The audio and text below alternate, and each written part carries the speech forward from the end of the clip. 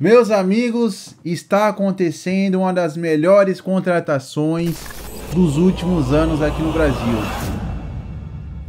Galera, tudo bem com vocês? Sejam muito bem-vindos a mais um vídeo no canal e hoje vamos falar sobre Lucas Moura. Sim, cara, esse rapaz está muito perto de vir para o São Paulo. Mas antes de falar dele, quero pedir para você, se você é novo no canal, não se esquece, deixa seu like, se inscreve no canal e ativa as notificações para vocês não perderem mais nenhum vídeo. Vamos uma marca de 40 mil inscritos. E lembrando, galera, hoje completamos dois anos de canal. Muito obrigado a todos que vêm fortalecendo para a continuidade desse canal e muito obrigado a todos que vêm mandando mensagem lá no Instagram, mandando mensagem em várias redes sociais sociais, agradecendo, dizendo que tá gostando muito do conteúdo, tá cada vez melhor. Eu fico cada vez mais empolgado para trazer conteúdos com esse tipo de mensagem aqui. Beleza, galera? Se você não me segue no Instagram, vai lá, arroba, underline, Mateuseira. Vai lá me seguir vamos uma marca de 10 mil seguidores lá também. 11 anos depois e um tempo depois, né? Porque o Lucas não jogou o segundo tempo daquela partida contra o Tigre. Segunda apuração da nossa Pri Senhorais. Lucas aceita ficar no São Paulo até dezembro e o clube aguarda apenas o acerto do jogador com o time da MLS para andar com a contratação até o final do ano. O craque combinou legal com o uniforme do tricolor. Diz aí. Essa foi a postagem da TNT Sports. E cara, eu acho que não teve semana melhor pro São Paulino do que essa daí de trazer duas contratações bombásticas, né? James Rodrigues e Lucas Moura. O Lucas eu ainda acho mais fundamental e mais importante ainda para esse São Paulo. Por que eu acho isso? O ataque do São Paulo é um ataque que vem assim naquela do Calério, Luciano, tal, mas com o Lucas Moura fica tudo diferente, né, cara? E com o Rames Rodrigues, então, nossa senhora. Então, galera, essa daqui é uma das maiores contratações desses últimos anos no futebol brasileiro. Por que eu acho isso? Pela importância, pela idade e pelo futebol. O Lucas Moura, pra mim, eu já falei pra vocês no outro vídeo que eu fiz do Lucas, falei, pra mim, jogadores que vieram da base, jogaram no Brasil, o Lucas Moura tá no top 3 ali de jogadores que, assim, me encantaram. Primeiro, Neymar, não tem como, né? O Neymar é o que mais me encantou aqui no futebol brasileiro vindo da base. Paulo Henrique Ganso e Lucas Moura. Pra mim, jogadores assim de alto nível, jogadores que teriam uma carreira muito melhor ainda se não tivessem essas lesões que atrapalharam ela, né? O Lucas, infelizmente, foi injustiçado no Tottenham, todos sabem, né? Porque era para ele ter ganho uma Champions e ter sido campeão sendo o protagonista daquela Champions. Por quê? Não sei se todos lembram, mas o Lucas fez três gols em uma semifinal de Champions, cara. Isso não é para qualquer jogador. Três gols. E aí você pensa, pô, você titular no próximo jogo na final, né? E o Lucas não foi. Infelizmente o Lucas não foi. Acho que isso até acaba estragando um pouco o ânimo do jogador para jogar uma final de de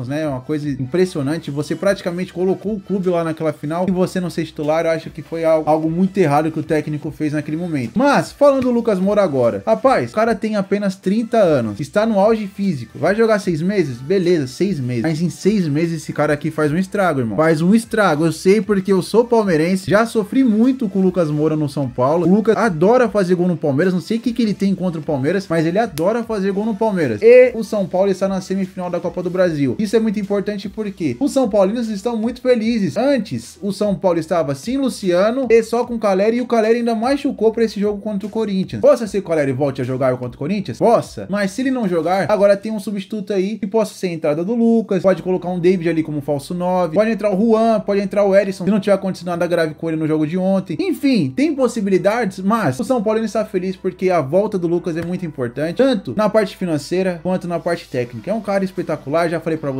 o quanto eu acho o Lucas muito bom jogador. E vou ler alguns comentários aqui para vocês de São Paulinos, ó. Dorival foi recusado pela CBF e decidiu montar a própria seleção. Cara, isso aqui é verdade. O São Paulo tá montando um time muito forte. A contratação do Caio Paulista caiu como uma luva no São Paulo. Jogadores que estão vindo da base também são muito bons. Beraldo é muito bom. Pablo Maia é muito bom também. O Beraldo ontem fez uma partida espetacular também pelo São Paulo. Acho que é um dos grandes zagueiros aí revelados nos últimos anos. Beraldo, Murilo, são jogadores de alto nível assim que vão jogar por muito tempo no futebol europeu. Meus amigos, rivais que se mordam, meu tricolor é uma seleção. O São Paulino tá muito empolgado, cara. Eu tenho certeza que o São Paulino tá muito empolgado. Eu estaria muito empolgado. Eu estou muito feliz pela vinda do Lucas ao Brasil, porque é um jogador de grande nome, é um cara que vai dar muito impacto ao futebol brasileiro, vai trazer mais olhar do mundo ao futebol brasileiro, porque aqui está o talento do mundo todo, né, cara? O futebol brasileiro, se não estivesse presente no mundo todo, eu acredito que o futebol não seria o que é hoje. Inclusive tá aqui, ó, dois exemplos disso. Caras que saíram do Brasil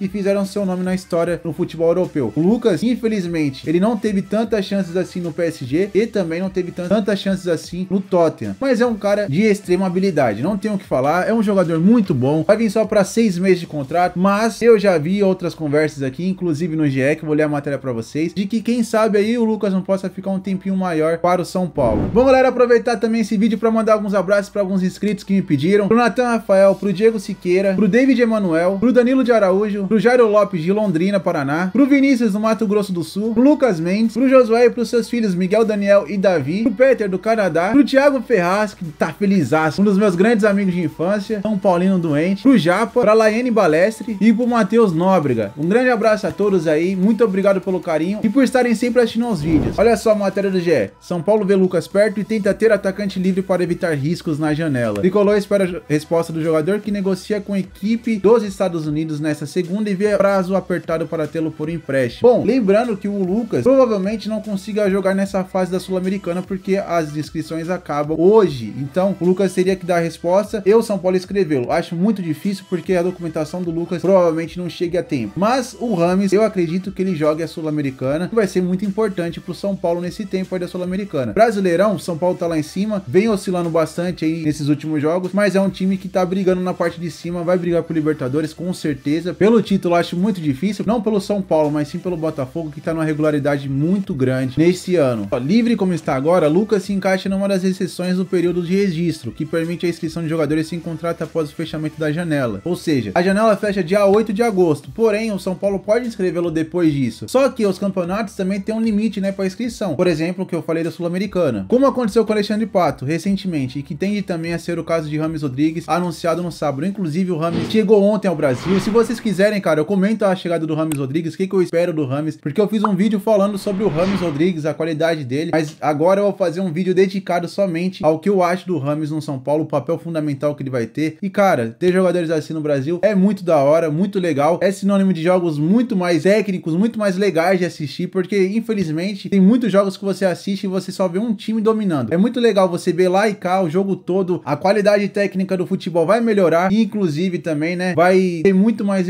recurso financeiro para todos os clubes, porque a competitividade aumentando, com certeza também o futebol vai ser melhorado e com certeza absoluta os estádios vão estar mais cheios. E agora eu tenho que bater palma aí pro São Paulo porque é uma contratação de extrema qualidade. Não é um jogador que vai chegar aqui e vai passar férias. O Lucas é extremamente competitivo, já foi o 10 da seleção brasileira aí na, na seleção sub-20, foi campeão sub-20, já jogou na seleção principal por inúmeras vezes. Muitas vezes eu achava que o Lucas era injustiçado nessa seleção porque tava jogando bem no PSG em muitos momentos e não era nem lembrado na seleção. Aconteceu com muitos jogadores aqui no Brasil também esse tipo de coisa, né? Muitos falam do Dudu, de outros jogadores também que já passaram pela seleção, o Bruno Henrique do Flamengo, mas não vingaram, não continuaram tendo uma sequência na seleção. Mas isso não quer dizer que o Lucas seja ruim por conta disso. Às vezes jogadores extremamente bons não jogam tanto na seleção, mas em seus clubes, que eu acho que é o que mais importa pro torcedor, ele vai lá e mostra a qualidade técnica. O Lucas, além de bom, ele é muito raçudo, cara. E isso eu acho muito legal. É um cara que não desiste um lance sequer e tem um enorme carinho e uma enorme ligação com o torcedor de São Paulo. E acho que nenhum torcedor de outros times também não gostem do Lucas. Acho que é um moleque que não provoca ninguém, é um moleque que sempre quer o melhor pro clube e sempre dá a vida pelo time. Acho que isso é o que é o mais impressionante dele, né? Nenhum título pelo São Paulo, mas eu tenho certeza que o amor que ele tem pela torcida e que a torcida tem por ele é muito maior do que esse título. Acho que não tem título que pague esse amor que ele recebe da torcida do São Paulo e também da torcida de outros clubes brasileiros, de outros times. Enfim, quando o jogador é bom, cara, não importa o clube, você só tem que apreciar o futebol dele enquanto ele tá jogando. E esse é o caso do Lucas. Fico feliz demais pela volta do Lucas e espero que ele tenha sucesso nessa passagem de São Paulo. Menos contra o Palmeiras, né, cara? Porque chega de fazer gol contra o Palmeiras, porque meu time não contrata já. Gente, vocês querem mais reforço? Quer mais reforço que esse avião maravilhoso? E aí vocês querem fazer essas contratações e ainda zoar o Palmeiras? Não dá, né, irmão? Não basta o avião da Leila estar tá sendo emprestado aí pro São Paulo trazer o Rames. Eu espero. Zoeira, pô, não foi emprestado. Mas muita gente vai zoar falando isso. Infelizmente a Leila não quer contratar ninguém. Os outros times estão se reforçando e se reforçando aí de uma maneira muito boa, né? Parabéns ao São Paulo, parabéns ao torcedor de São Paulo. Boa sorte ao Lucas e que dê tudo certo aí pra ele. Vou ficando por aqui, espero que vocês tenham gostado do vídeo. Tamo junto, é nóis e fui!